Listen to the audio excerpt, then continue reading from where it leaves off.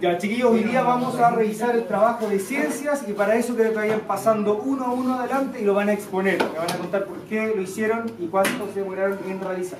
Así que vamos a ir pasando a uno, por favor. Podríamos comenzar con Ignacio. Comienzas tú, por favor. Adelante.